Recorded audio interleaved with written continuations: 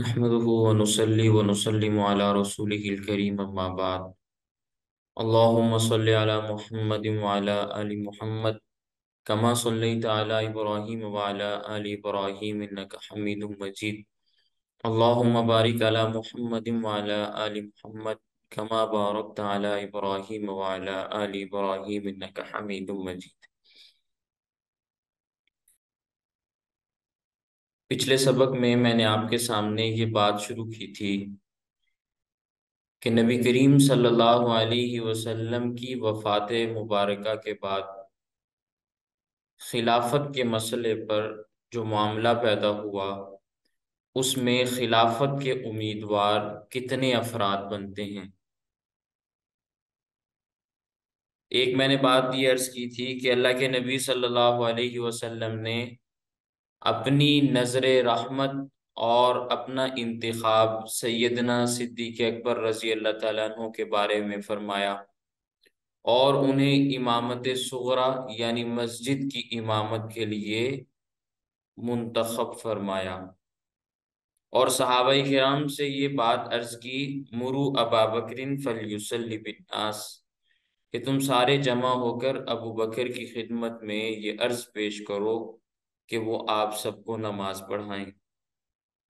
تو نبی کریم صلی اللہ علیہ وسلم کے مسلح امامت کو سنبھالنا، اس کے لیے سیدنا صدیق اکبر رضی اللہ تعالیٰ عنہ کا نام لینا، یہ اس بات کی جانب اشارہ تھا کہ میرے بعد جب خلافت کا مسئلہ پیدا ہوگا تو اس کے لیے بھی تم ابو بکر کو اپنا امیر منتخب کر لینا۔ یہ سیدنا صدیق اکبر رضی اللہ تعالیٰ عنہ پر نبی کریم صلی اللہ علیہ وسلم کی نظر رحمت تھی۔ لیکن ایک معاملہ میں نے اور بھی آپ کے سامنے پچھلے سبق میں عرض کیا انصار کے حوالے سے کہ انصار کی جماعت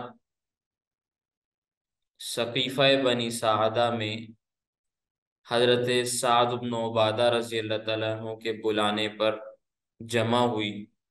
اور وہ لوگ یہ چاہتے تھے کہ اللہ کے نبی صلی اللہ علیہ وسلم مہاجر تھے، مکہ سے ہجرت کر کے مدینہ تشریف لائے۔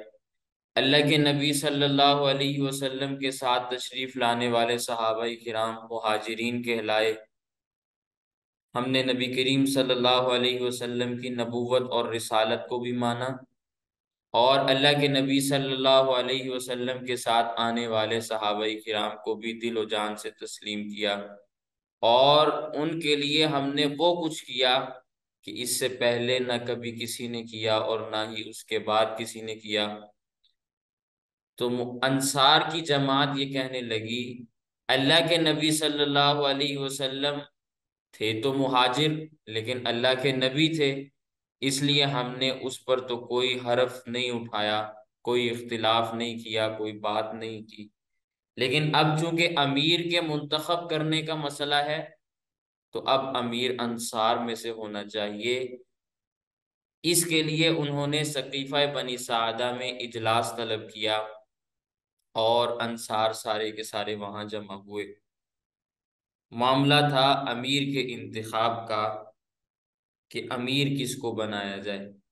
خلافت کے عہدے پر کس کو سرفراز کیا جائے؟ اور نبی کریم صلی اللہ علیہ وسلم کا جانشین کسے بنایا جائے؟ تو پھر اس پر میں نے یہ بات آپ کے سامنے عرض کی تھی کہ خلافت کے امیدوار دو افراد بنتے ہیں۔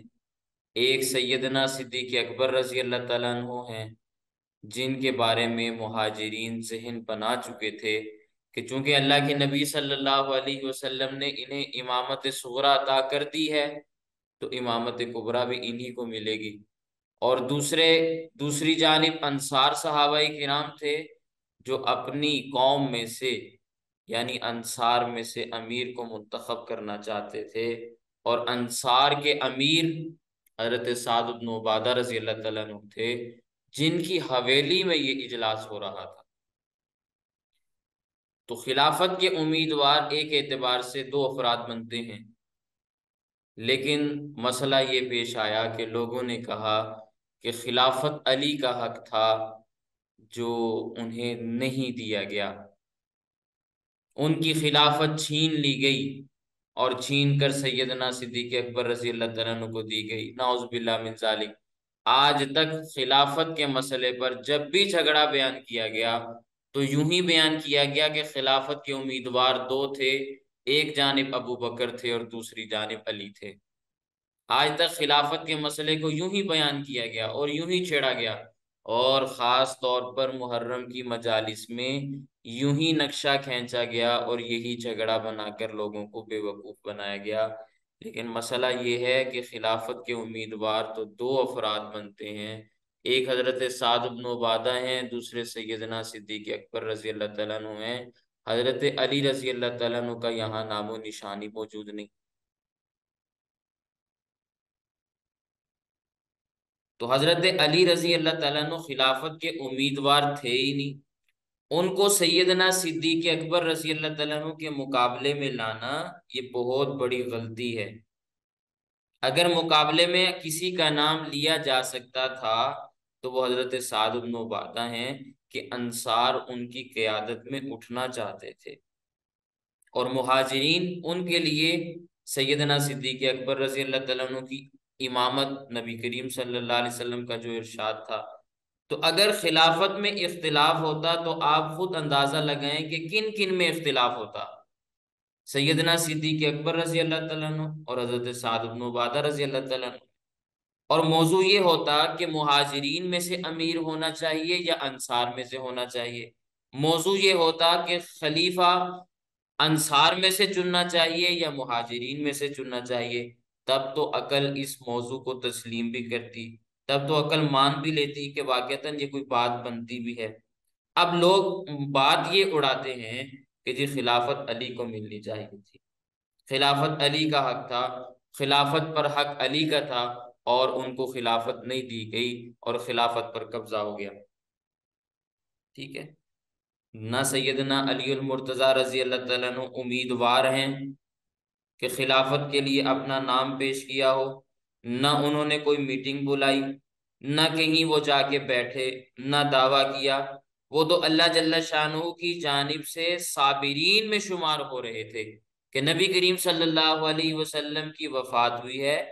اللہ کے نبی صلی اللہ علیہ وسلم کے وصال کا دردناک سانحہ پیش آیا ہے تو سیدنا علی المرتضی رضی اللہ تعالیٰ عنہ خاموشی سے مسجد نبوی میں تشریف فرما ہے اور صبر کر رہے ہیں۔ اللہ تعالیٰ کے ہاں وہ صابرین میں سے ہیں۔ نہ وہ ماتم کر رہے ہیں، نہ وہ نوحہ کر رہے ہیں، نہ وہ آزاداری کر رہے ہیں، نہ وہ چیخ اور چلا رہے ہیں اور نہ ہی خلافت کے مسئلے پر جھگڑا کر رہے ہیں۔ تو صابرین میں سے ہوئے نا۔ تو خامخواہ ان کا نام لے کر قوم میں ایک نئی فکر پیدا کی گئی کہ خلیفہ وہ ہونا چاہیے جس کا نام ہم نے پیش کیا یعنی سیدنا علی المرتضی رضی اللہ تعالی۔ آج تک آپ نے خلافت کے مسئلے پر جتنے بھی اختلافات سنے، وہ یہی اختلافات تھے کہ جی خلیفہ ابو بکر ہوں یا خلیفہ علی المرتضی ہوں۔ حالانکہ سیدنا علی المرتضی رضی اللہ تعالیٰ عنہ اس مسئلے میں کبھی میدان میں آئے ہی نہیں۔ خواہ ان کے ذمے ایک بات لگا دی گئی۔ میں تاریخ کے طالب علموں سے پوچھتا ہوں۔ میں سیرت کا مطالعہ کرنے والوں سے پوچھتا ہوں کہ کوئی تاریخ کی ایسی کتاب لاؤ یا سیدنا علی المرتضی رضی اللہ تعالیٰ کی سیرت پر لکھی ہوئی کوئی کتاب لاؤ جو مستند ہو۔ کہ سیدنا سیدنا علی المرتضی رضی اللہ تعالیٰ عنہ نے اپنی زبان سے ایک دفعہ بھی کہا ہو کہ بھی خلافت کا دعوے دار میں ہوں۔ خلافت مجھے ملنی چاہیے۔ یا سیدنا علی اور رضی اللہ تعالیٰ عنہ نے کوئی ایک کوشش بھی کی ہو کہ خلافت چونکہ میرا حق ہے، غدیر قوم کے موقع پہ اللہ کے نبی صلی اللہ علیہ وسلم چونکہ میرے نام خلافت کا اعلان کر چکے ہیں، اس لیے خلافت مجھے ملنی چاہیے۔ کوئی ایک کوشش، کوئی ایک بات سیدنا علی المرتضی رضی اللہ تعالیٰ عنہ سے ثابت نہیں۔ نہ تاریخ کی کسی کتاب میں اور نہ ہی سیرت کی کسی کتاب میں آپ یہ بات دکھا سکتے اور پھر ذرا یہ بھی بات سمجھیں۔ کسی کو اگر حکومت ملے یا کسی کو سلطنت ملے تو وہ کوئی اپنی بادشاہت کو یا اپنی سلطنت کو یا اپنی حکومت کو جلدی چھوڑنے کے لیے تیار ہوتا ہے؟ آج کے معاشرے میں آپ کیا دیکھتے ہیں؟ کسی کو ہٹایا گیا تو وہ سارا اگلا سیزن روتا رہتا ہے کہ مجھے کیوں ہٹایا؟ کسی کو لایا گیا تو دوسرا رونا شروع کر دیتا ہے کہ مجھے کیوں ہٹایا؟ اس کو کیوں لایا گیا؟ تو کوئی بھی شخص جو اقتدار میں آتا ہے، حکومت میں آتا ہے، وہ اپنی سیٹ کو جلدی چھوڑنے کے لیے تیار نہیں ہوتا۔ اس پر میں اگر آپ کے سامنے ایک مقدمہ عرض کروں یا اس کو آپ علمی لطیفہ کہہ لیں، وہ عرض کر دوں۔ کسی نے کہا کہ بھی حضرت فاطمہ رضی اللہ تعالیٰ عنہ نے سیدنا صدیق اکبر رضی اللہ تعالیٰ عنہ کے پاس ایک مقدمہ دائر کیا تھا کہ جی فدق کی جو زمین ہے وہ مجھے ملے، میرے والد کی وہ وراثت کی زمین ہے۔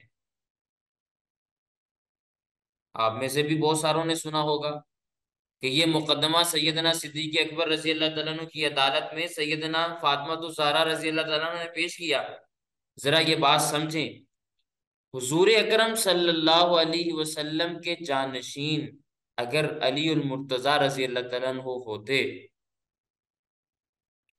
نبی کریم صلی اللہ علیہ وسلم کے بعد خلیفہ اگر سیدنا علی المرتضی رضی اللہ تعالیٰ عنہ ہوتے تو حضرت فاطمہ اپنے خامن کے لیے خلافت کا دعویٰ دائر کرتی یا فدق کا دعویٰ دائر کرتی آپ بتائیں، آج کسی کو حکومت ملے تو وہ سیٹ چھوڑنے کے لیے تیار نہیں ہوتا۔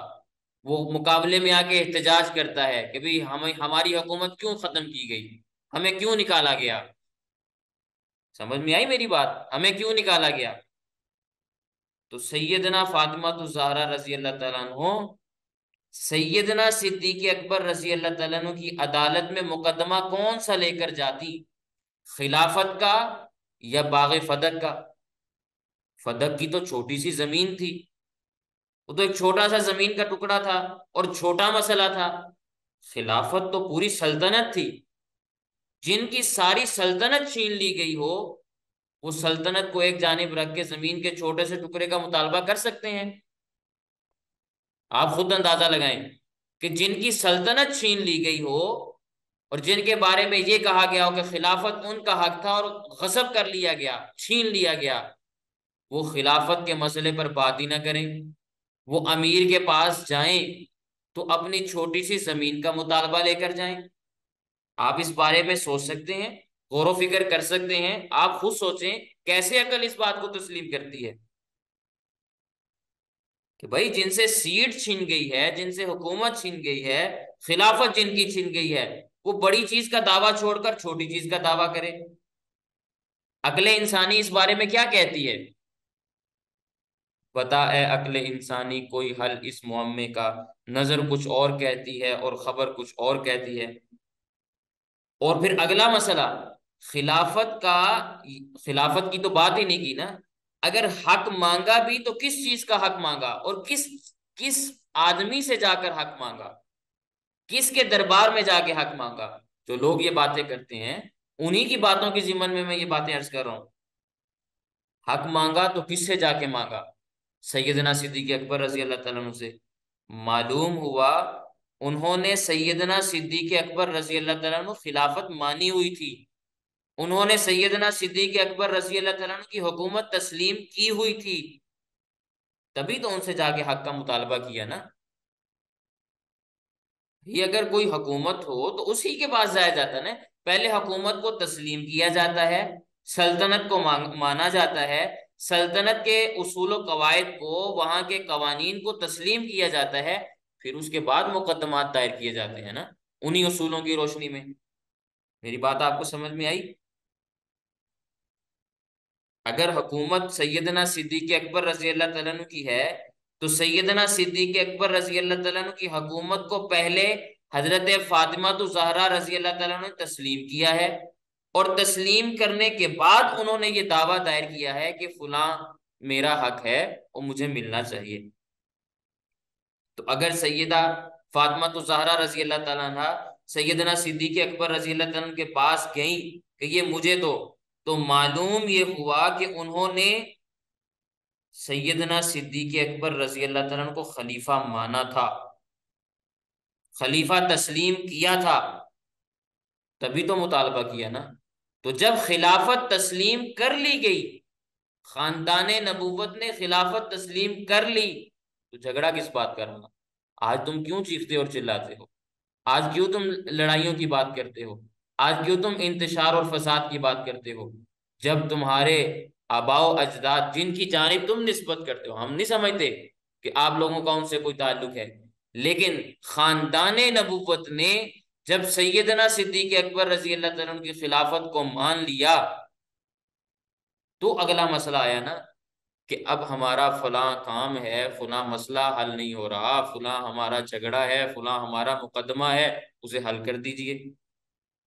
لیکن ہم تو یہ کہتے ہیں کہ یہ معاملہ پیش ہی نہیں آیا۔ ہم اس چیز کے قائل نہیں، میں پہلے بھی سوال کے جواب میں یہ بات عرض کر چکا ہوں۔ میں تو اس چیز کا قائل ہی نہیں کہ انہوں نے سوال کیا تھا۔ وہ شخصیت، آپ اندازہ لگائیں، وہ شخصیت، وہ خاتون جو جنت کی خواتین کی سردار ہو۔ وہ خود اس کام کے لیے اٹھتی، اندازہ لگائیں، یا اپنے خامن کو کہتی۔ جو کہانیاں سنائی جاتی ہیں، انہی کے ذمن میں یہ باتیں عرض کر رہا ہوں۔ جو خاتون جنت ہیں، جنت کی خواتین کی سردار ہیں، سیدت و نسائی اہل الجنہ ہیں۔ وہ اس چھوٹے سے زمین کے ٹکڑے کے لیے خود دربار میں جاتی، خود خلیفہ کے پاس جاتی یا اپنے شوہر کو بھیجتی کہ آپ جاؤ جا کے میرا مطالبہ ان کے سامنے رکھو۔ میں تو آج اپنی بیوی کو کسی کے پاس نہ بھیجوں۔ کہ میری غیرت گوارا نہیں کرتی۔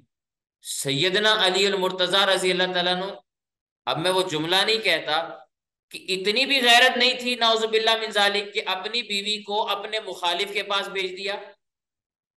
اور سیدنا علی المرتضی رضی اللہ تعالیٰ عنہ کی بقول ان کے خلافت شینی سیدنا صدیق اکبر نے، ان کا آپس میں کس قسم کا جھگڑا ہونا چاہیے تھا؟ لیکن ایسا کوئی معاملہ پیش ہی نہیں آیا۔ ایسا کوئی معاملہ پیش ہی نہیں آیا۔ اب حضرت فاطمہ رضی اللہ تعالیٰ عنہ نے اگر مطالبہ کرنا ہوتا تو وہ سیدنا علی المرتضی رضی اللہ تعالیٰ عنہ کو بھیجتی، لیکن انہوں نے نہیں بھیجا۔ ٹھیک ہے۔ اب اگلا مسئلہ بیان کیا گیا کہ حضرت بی بی فاطمہ خود گئی تھی۔ خود گئی تھی فتق لینے کے لیے۔ ان کو باغ فتق نہیں دیا گیا۔ اور لوگ اتنا بھی نہیں سوچتے کہ خامند کے ہوتے ہوئے عدالت میں بیوی کیسے جا سکتی ہے؟ اسلام کا ایک نظام ہے، پردے اور حیا کی ایک ذمہ داری ہے عورت کے کندھوں پہ۔ خامن کے ہوتے ہوئے، شوہر کے ہوتے ہوئے عورت عدالت میں کیسے پیش ہو سکتی ہے؟ اور وہ فاطمہ تو زہرا، جن کی چادر کو کبھی آسمان نے بھی نہیں دیکھا، وہ اس کام کے لیے، زمین کا چھوٹا سا ٹکڑا لینے کے لیے، دنیا کے لیے، دنیا کے لیے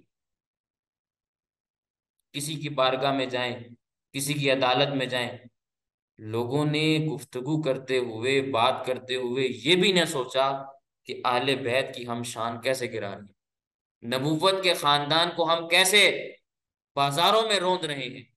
ان کی عزت کو ہم کیسے تار تار کر رہے ہیں؟ اللہ کے نبی صلی اللہ علیہ وسلم دنیا میں تشریف لائے تو چاہتے سونے کے بچھونے ان کے لیے حاضر ہو جاتے۔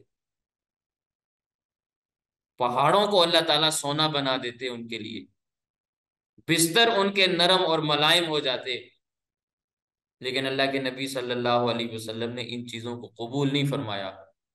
تو کیسے ممکن ہے کہ ان کی دنیا سے جانے کے بعد ان کی اولاد مال حاصل کرنے کے لیے، مال حاصل کرنے کے لیے خلافہ کے دروازوں پہ جائے۔ اس لیے میں اس مقدمے کو تسلیم ہی نہیں کرتا۔ لیکن میں یہ بات آپ کے سامنے عرض کر رہا ہوں کہ اگر خلافت میں کوئی اختلاف ہوتا تو یہ سارے معاملات پیش آتے۔ اگر خلافت میں سیدنا علی المرتضی رضی اللہ تعالیٰ عنہ کا سیدنا صدیق اکبر رضی اللہ تعالیٰ عنہ سے اختلاف ہوتا، کیا یہ معاملات پیش آتے؟ کبھی بھی پیش نہ آتے۔ تو یا تو آپ کا پہلا مقدمہ غلط ہے یا دوسرا مقدمہ غلط ہے، یا آپ کی وہ بات غلط ہے یا یہ بات غلط ہے۔ کوئی ایک بات کے اوپر آؤ نا۔ خیر، اب مسئلہ یہ ہے کہ خلافت کے امیدوار دو حضرات ہیں۔ ایک سیدنا صدیق اکبر رضی اللہ تعالیٰ اور ایک حضرت سعد بن عبادہ رضی اللہ تعالیٰ میں حیران ہوں کہ سیدنا علی المرتضی رضی اللہ تعالیٰ کو اس معاملے میں کیسے داخل کیا گیا۔ اب سیدنا سعد بن عبادہ رضی اللہ تعالیٰ کی میٹنگ ہو رہی ہے کہ خلیفہ ہم میں سے ہونا چاہیے۔ قریب سے صحابی گزرے۔ حضرت نعمان بن بشیر رضی اللہ تعالیٰ انصار میں سے نہیں ہیں مہاجرین میں سے ہیں۔ قریب سے گزرے۔ سوال کیا کہ لوگ یہاں کیوں جمع ہیں؟ مہاجرین کیوں جمع ہیں؟ بتایا گیا کہ اپنے امیر کے انتخاب کے لیے یہاں جمع ہیں۔ اپنے امیر کے انتخاب کے لیے یہاں جمع ہیں۔ اور اس بات کے لیے جمع ہیں کہ حضور اکرم صلی اللہ علیہ وسلم کے بعد خلیفہ کون ہو؟ ہم انصار کی جماعت میں سے نبی کریم صلی اللہ علیہ وسلم کا خلیفہ منتخب کرنا چاہتے ہیں۔ تو حضرت نعمان بن بشیر رضی اللہ تعالیٰ نے جب یہ بات سنی تو بھاگے بھاگے مسجد نبوی گئے۔ جو صحابہ بیٹھے ہوئے تھے ان سے جا کے کہنے لگے، آپ یہاں بیٹھے ہوئے ہیں، غم بنا رہے ہیں۔ تم لوگ یہاں غم میں بیٹھے ہوئے ہو۔ ادھر دیکھو کیا ہو رہا ہے۔ حضور اکرم صلی اللہ علیہ وسلم کی امت تقسیم ہو رہی ہے۔ ادھر دیکھو کیا ہو رہا ہے۔ حضور اکرم صلی اللہ علیہ وسلم کی امت تقسیم ہو رہی ہے۔ حضور اکرم صلی اللہ علیہ وسلم کی امت اگر ٹوٹ گئی، انصار نے خلیفہ چن لیا، تو امت میں ایسا اختلاف پیدا ہوگا، قیامت تک دوبارہ امت متحد نہیں ہو سکتی۔ اور حضور اکرم صلی اللہ علیہ وسلم جو محنت کر کے گئے، اس کا شرازہ بکھر جائے گا۔ جب سیدنا نعمان بن بشیر رضی اللہ تعالیٰ نے مسجد نبوی میں جا کر یہ تقریر کی، یہ بیان کیا، تو تین احباب کھڑے ہوئے۔ تین صحابہ کرام کھڑے ہوئے۔ تین آدمی اٹھے۔ چوتھا آدمی نہیں اٹھا۔ تین سے کم بھی نہیں اٹھے، ایک زیادہ بھی نہیں اٹھا۔ تین آدمی کھڑے ہوئے۔ بہت سارے لوگ بیٹھے ہوئے تھے۔ حضرت علی وہاں تھے، باقی صحابہ کرام وہاں تھے۔ اور نبوت کے اہل بیت تمام کے تمام وہاں موجود تھے۔ لیکن تین آدمی کھڑے ہوئے۔ اور تین آدمی کون کون؟ حضرت سیدنا صدیق اکبر رضی اللہ تعالیٰ سیدنا عمر فاروق رضی اللہ تعالیٰ اور حضرت ابو عبیدہ بن جرہ رضی اللہ تعالیٰ تین احباب کھڑے ہوئے اور یہ تینوں چلے۔ مہاجرین کی طرف آئے۔ اچھا ان لوگوں نے آتے ہوئے یہ نہیں کہا کہ آؤ بھائیو، تم بھی ہمارے ساتھ چلو، کہ کہیں وہ کوئی اور فیصلہ نہ کر لیں۔ آؤ، تم بھی ہمارے ساتھ چلو۔ جانشین کو منتخب کرنے کا مسئلہ تھا نا۔ حضرت نعمان بن بشیر رضی اللہ نے آ کے بتا دیا نا کہ کیا معاملہ پیش کر رہے ہیں۔ کیا مقدمہ چل رہا ہے؟ کیا وہاں پہ میٹنگ ہو رہی ہے؟ تو پتہ تو چل گیا نا سب کو۔ اب ہونا تو یہ چاہیے تھا کہ اگر معاملہ ہلڑ بازی کا ہوتا، جتھے کا ہوتا، گروہ کا ہوتا، اور طبقے کا ہوتا، اور طاقت کا معاملہ ہوتا، تو سیدنا صدیق اکبر رضی اللہ تعالیٰ فرماتے بھائی سارے لوگ اٹھو، مسجد کو خالی کرو اور سارے کے سارے حویلی کے باہر جا کے جمع ہو جاؤ۔ لیکن تین آدمی اٹھے، چوتھا آدمی کھڑا نہیں ہوا۔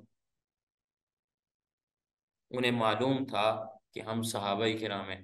اور انہیں یہ بھی معلوم تھا کہ جن کی جانب ہم جا رہے ہیں، وہ بھی صحابہ کرام ہیں۔ میری بات آپ سمجھیں؟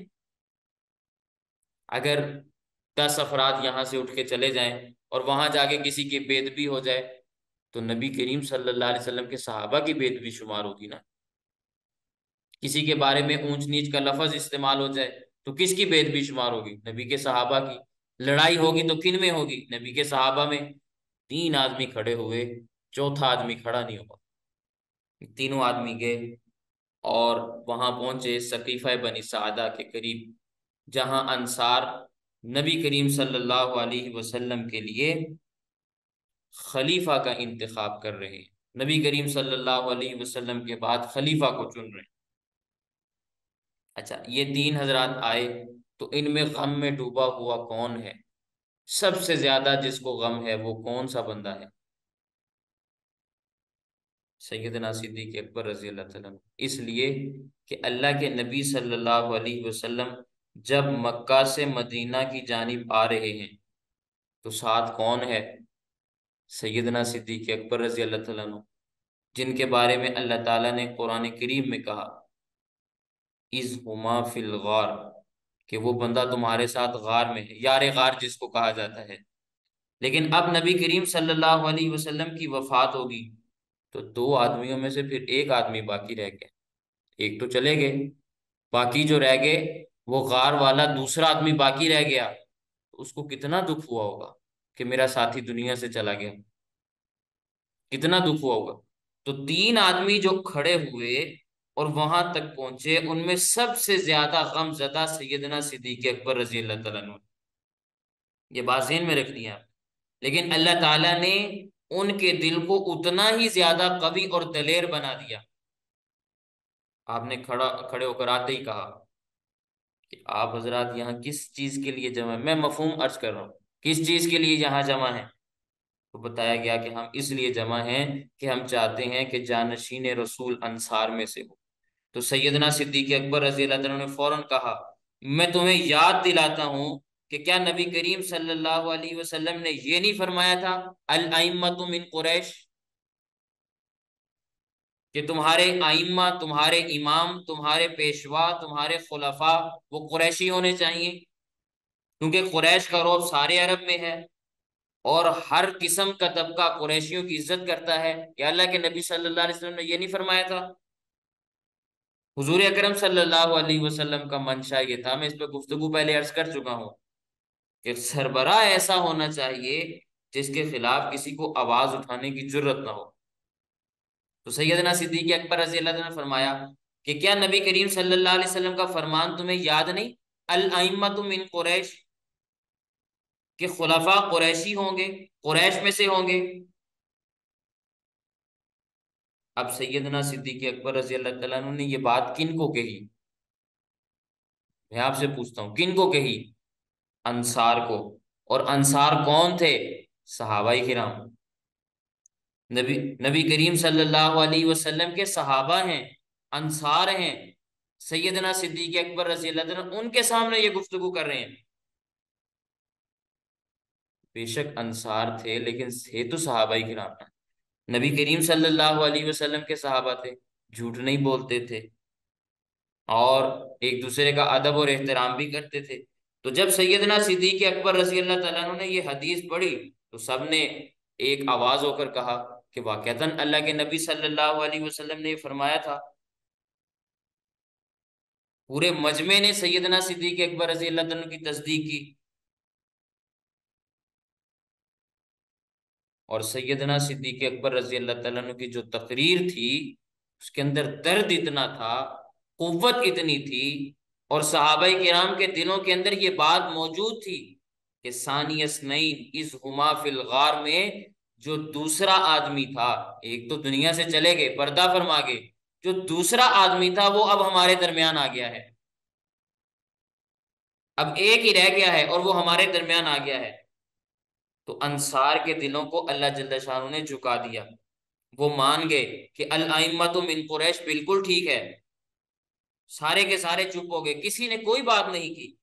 تو پھر جب سیدنا صدیق اکبر رضی اللہ عنہ نے یہ فرمایا الائمت من قریش، تو آگے فرمانے لگے، میں مسلمانوں کی فلاح و بہبود کے لیے ایک ایسے آدمی کو پیش کرتا ہوں، ایسی شخصیت کو پیش کرتا ہوں کہ جس کے کمالات کو، جس کی قربانیوں کو، جس کی بصیرت کو سب مانتے ہیں۔ اور مکہ کے وہ بڑے شمار ہوتے ہیں۔ میں آپ کے سامنے ان کا نام پیش کرتا ہوں، وہ جناب سیدنا عمر رضی اللہ تعالیٰ اب یہ کون بات کہہ رہے ہیں؟ سیدنا صدیق اکبر رضی اللہ تعالیٰ نام کس کا پیش کر رہے ہیں؟ سیدنا عمر رضی اللہ تعالیٰ کا۔ اور فرماتے ہیں، خلافت کا لائق، خلافت کے لائق میں ان کو سمجھتا ہوں۔ اللہ نے ان کو صلاحیتیں دی ہیں۔ مکہ میں لوگ چھپ چھپ کے نمازیں پڑھتے تھے۔ جب سے سیدنا عمر رضی اللہ تعالیٰ اسلام لائے ہیں تو انہوں نے اعلان کیا کہ اب ہم کعبہ میں نماز پڑھیں گے، کھل کے نمازیں پڑھیں گے، کھل کے دین کے اوپر عمل کریں گے۔ تو میرے خیال میں سیدنا عمر رضی اللہ تعالیٰ عنہ کو خلافت کے لیے چن لینا چاہیے۔ اب سیدنا صدیق اکبر رضی اللہ تعالیٰ نے یہ تقریر پیش فرمائی۔ سارے کے سارے انصار بھی سن رہے ہیں، حضرت سعد بن عبادہ رضی اللہ تعالیٰ بھی سن رہے ہیں۔ کسی نے کوئی جملہ نہیں بولا بشمول حضرت سعد بن عبادہ رضی اللہ تعالیٰ کے۔ لیکن معاملہ کیا پیش آیا؟ انصار میں سے تو کوئی نہیں بولا، سیدنا عمر رضی اللہ تعالیٰ عنہ کھڑے ہو گئے۔ اور سیدنا صدیق اکبر رضی اللہ تعالیٰ کی جو تجویز تھی، اس کو ایک منٹ میں توڑ دیا۔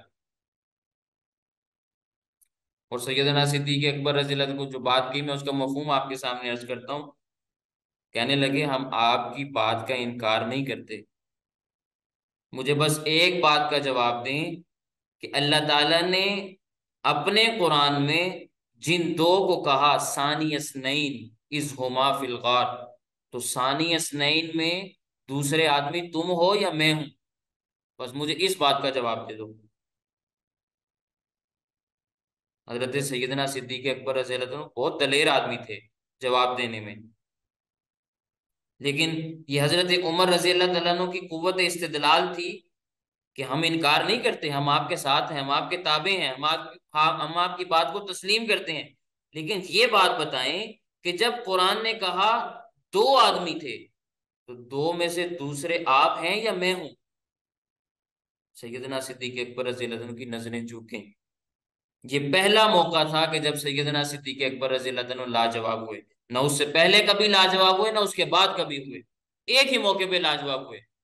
خاموش ہو گئے، نظریں چکا لی اب سیدنا عمر رضی اللہ تعالیٰ عنہ اٹھے، بجلی کی تیزی کی طرح اٹھے اور سیدنا صدیق اکبر رضی اللہ عنہ کا ہاتھ تھاما اور فرمانے لگے، اپنا ہاتھ بڑھائیں، سب سے پہلے میں آپ کے ہاتھ پہ بیعت کرتا ہوں۔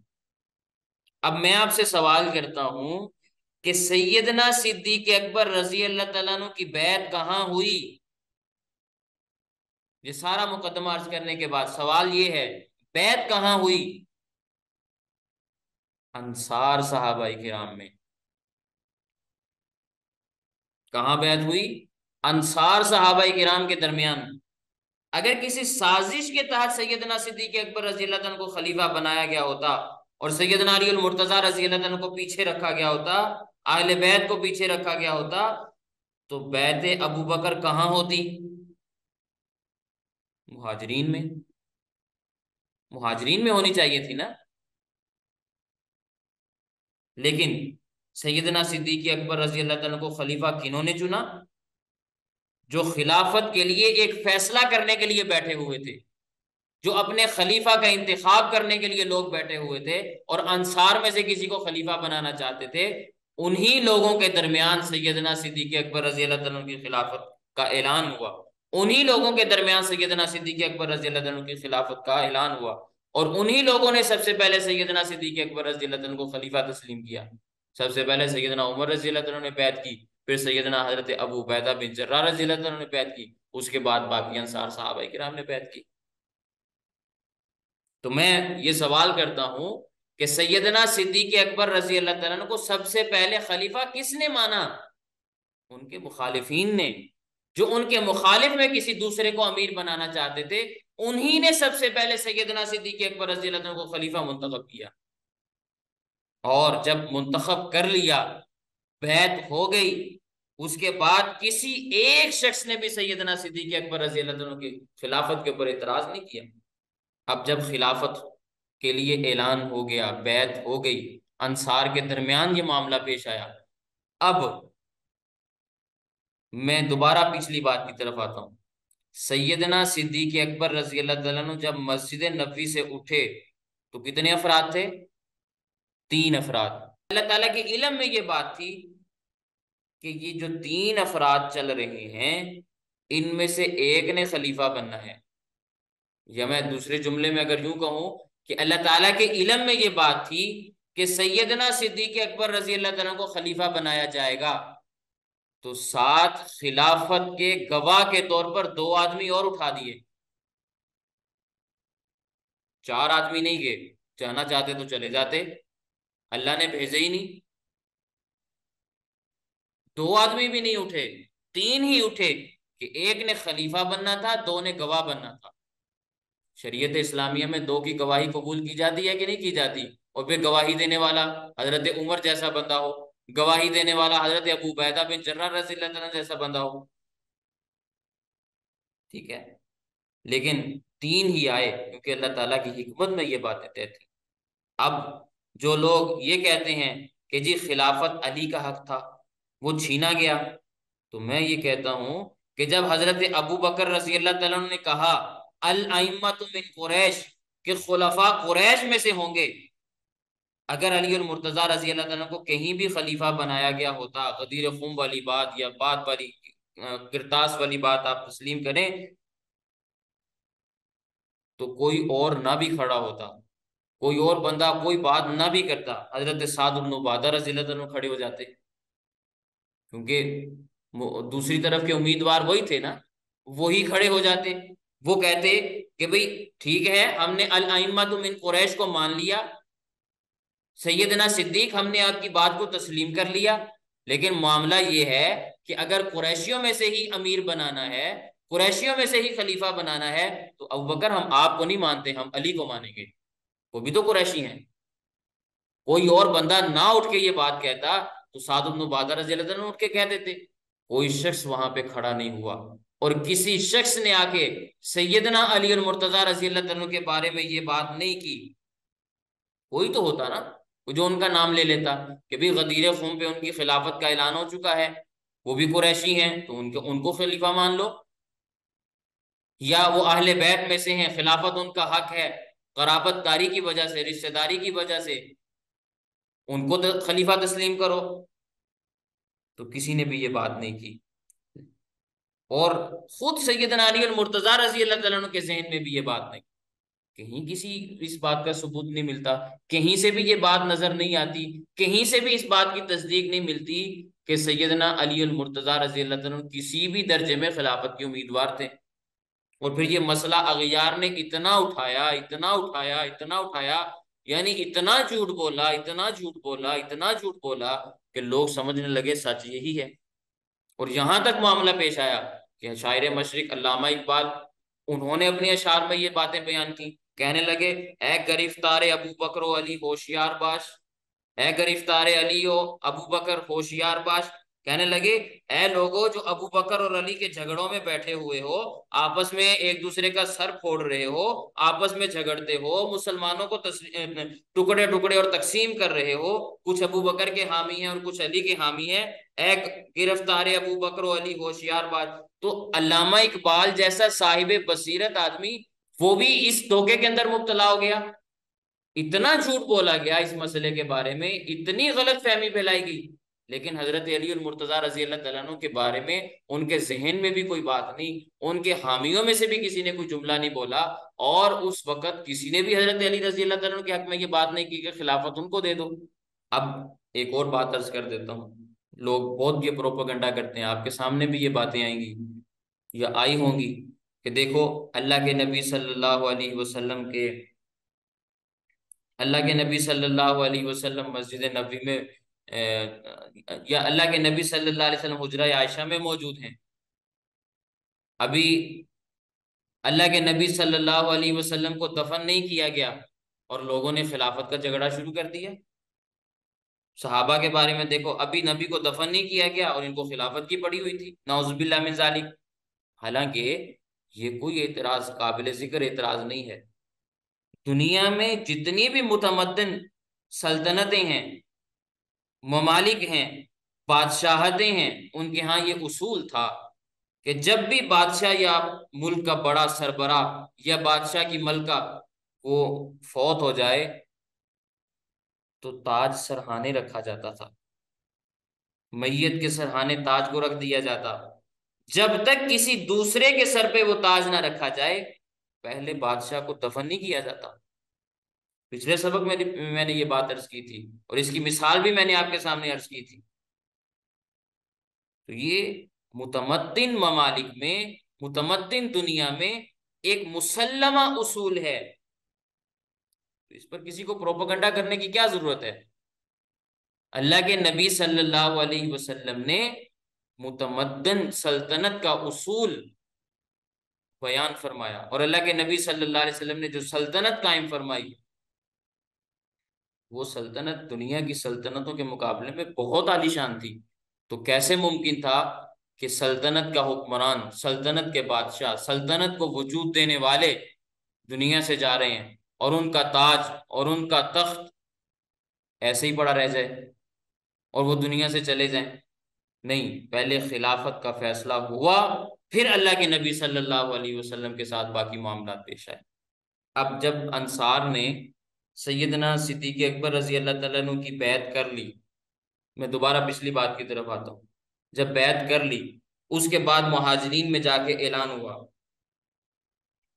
کہ ہم نے سیدنا صدیق اکبر رضی اللہ تعالیٰ عنہ کو خلیفہ منتخب کر لیا ہے اور اس خلافت پہ دو گواہ بھی سامنے آگے سیدنا عمر رضی اللہ تعالیٰ عنہ اور سیدنا ابو بیدہ بن جرہ رضی اللہ تعالیٰ عنہ جو مہاجرین میں سے تھے وہ خلافت کے گواہ بھی بن کے سامنے آگے تو پھر میں نے یہ بات آپ کے سامنے عرض کی تھی کہ یہ خلافت حضرت عمر رضی اللہ تعالیٰ عنہ میں کیسے منتقل ہوئی۔ اس پر میں پچھلے اسباق میں باتیں کر چکا ہوں۔ پھر حضرت عمر رضی اللہ تعالیٰ عنہ کے بعد حضرت عثمان غنی رضی اللہ تعالیٰ عنہ تک کیسے گئی؟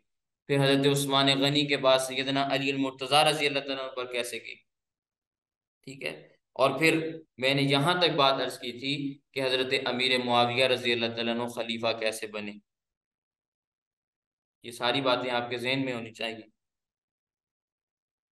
اب میں ایک سوال کرتا ہوں ان لوگوں سے جو سیدنا صدیق اکبر رضی اللہ تعالیٰ عنہ کی خلافت کو تسلیم نہیں کرتے۔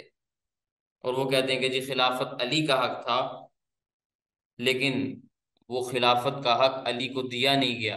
نعوذ باللہ من ذالک۔ تو ایک سادہ سا سوال ہے۔ سادہ سا سوال ہے کہ چلو بھائی، انہی کا حق تھا، ان کو ملنا چاہیے تھا۔ لیکن جب سیدنا صدیق اکبر رضی اللہ تعالیٰ کو خلیفہ بنایا گیا، تو خلیفہ بنانے کے بعد نماز کا وقت آیا کبھی کہ نہیں آیا؟ سوال ہے نا۔ جب سیدنا صدیق اکبر رضی اللہ تعالیٰ خلیفہ بن گئے، تو خلافت کا عہدہ سنبھالنے کے بعد اس دنیا میں کبھی نماز پڑھی گئی کہ نہیں پڑھی گئی؟ کبھی نماز کا وقت آیا کہ نہیں آیا؟ ظاہر ہے، نماز کا وقت آیا۔ حضور اکرم صلی اللہ علیہ وسلم نے بھی وفات سے پہلے حضرت سیدنا صدیق اکبر رضی اللہ تعالیٰ کو مسلح کی امامت سپرد کر دی تھی۔ مسلح کا امام بنایا۔ پچھلے اسباق میں میں یہ بات بھی عرض کر چکا ہوں کہ اللہ کے نبی صلی اللہ علیہ وسلم نے اس پر اپنی رضا کا اعلان بھی کیا۔ خود مسجد نبی میں تشریف بھی لائے۔ دیکھا کہ سیدنا صدیق اکبر رضی اللہ تعالیٰ نماز پڑھا رہے ہیں۔ ساری باتیں ہو گئیں۔ اب اللہ کے نبی صلی اللہ علیہ وسلم دنیا سے تشریف لے گئے، دنیا سے پردہ فرما گئے۔ اب نماز کا وقت آیا۔ تو سیدنا علی المرتضی رضی اللہ تعالیٰ عنہ نے خلیفہ کے پیچھے نماز پڑھی یا نہیں پڑھی؟ بطور خلیفہ کے سیدنا علی المرتضی رضی اللہ تعالیٰ عنہ سیدنا صدیق اکبر رضی اللہ تعالیٰ کے پیچھے کھڑے ہیں یا نہیں کھڑے؟ یہ سوال ہے کہ نہیں ہے؟ سوال پیدا ہوتا ہے کہ نہیں ہوتا؟ یا تو آپ یہ کہو کہ سیدنا علی المرتضی رضی اللہ تعالیٰ اس کے بعد کبھی مسجد آئے ہی نہیں۔ پھر ظاہر ہے اس پر آپ کو حوالہ دینا پڑے گا نا کہ صحابہ کرام تو ایسے نہیں تھے کہ گھروں کے اندر نمازیں پڑھنے والے ہوں۔ وہ تو مسجد نبی میں نماز پڑھتے تھے، اللہ کے نبی صلی اللہ علیہ وسلم کے پیچھے نماز پڑھتے تھے۔ لیکن مسئلہ یہ ہے کہ اب اللہ کے نبی صلی اللہ علیہ وسلم دنیا سے چلے گئے ہیں۔ اب سیدنا علی المرتضی رضی اللہ تعالیٰ نے مسجد میں آ کے نماز پڑھی یا نہیں پڑھی؟ تو کہتے ہیں جی پڑھی۔ اچھا اب مسجد میں آ کے نماز پڑھی، تو مسجد میں امام تو سیدنا صدیق اکبر رضی اللہ تعالیٰ ان کے پیچھے نماز پڑھی یا نہیں پڑھی؟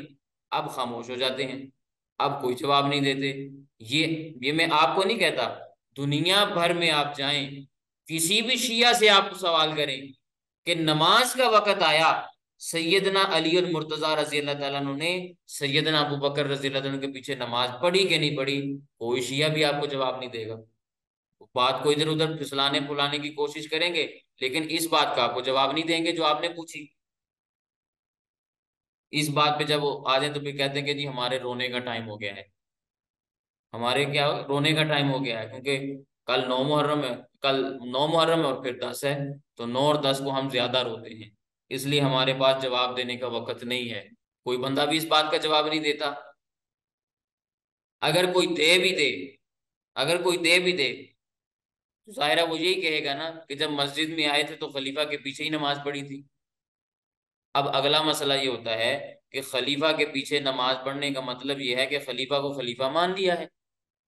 کہتے ہیں جی نہیں، وہ اوپر اوپر سے نماز پڑھی تھی، دل سے نہیں پڑھی تھی۔ اوپر اوپر سے نماز پڑھتے تھے، اندر سے نیت نہیں کرتے تھے۔ سمجھ میں آئی بات؟ جس کو تکیہ کہا جاتا ہے کہ آپ جھوٹ بولیں۔ تو ہم تو سیدنا علی المرتضیٰ رضی اللہ تعالیٰ عنہ کے بارے میں یہ نہیں کہتے کہ وہ جھوٹے آدمی تھے ناؤز باللہ مزالی یا ان کے بارے میں ہم یہ بھی گمان نہیں رکھتے کہ وہ کمزور آدمی تھے۔ ہم تو کہتے ہیں کہ وہ شیر خدا تھے اسد اللہ تھے، ٹھیک ہے؟ اللہ کے شیر تھے۔ وہ تو بہادر آدمی تھے۔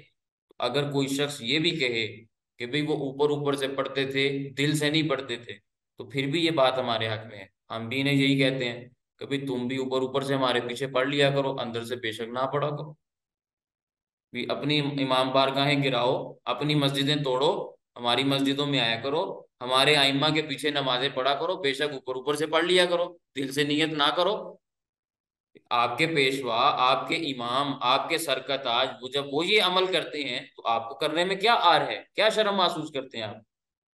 اپنی پہلے امام کو آپ، ان کی بات کو آپ تسلیم نہیں کرتے؟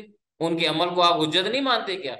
لیکن حقیقت یہ ہے کہ سیدنا علی المرتضی رضی اللہ تعالیٰ عنہ، سیدنا صدیق اکبر رضی اللہ تعالیٰ عنہ کے پیچھے نماز پڑھتے رہے۔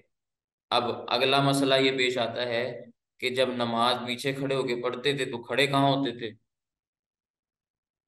کھڑے کہاں ہوتے تھے۔